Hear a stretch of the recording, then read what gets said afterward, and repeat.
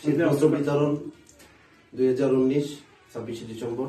সে উপলক্ষে আজকে মডেল বড় কমিটিতে যে মিটিং আয়োজন করেছি উক্ত মিটিং এ আমাদের এলাকার জনাব শাহিন মিয়া আমার ছোট ভাই উনি সৌদি প্রবাসী উনি আজকে আমাদের এই মিটিং এ নতুন সদস্য যোগদান করেছে এবং সে আমাদের এই শীতবস্ত্র অনুষ্ঠানে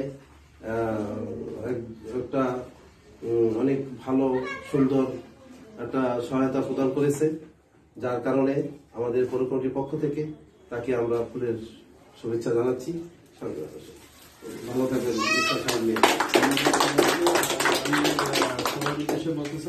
বলতে এই জড়িত আছে বা প্রথমে পরোক্ষভাবে তাদের কাছে সবাইকে আমি আন্তরিক শুভেচ্ছা, ভালোবাসা জানাই। আর যারা এই দেখা যায় ভবিষ্যতে যারা আসবে, তাদেরকে আমি হয়তো আহ্বান জানাই এই- কমিটিতে আসার জন্য যে যত পারুক, ইনি পরোক্ষভাবে হোক যেভাবে হোক নিজের যেভাবে হোক সহযোগিতা কম বেশি, সবাই এগিয়ে আসুক, এটা এইটার ভিতরে আমি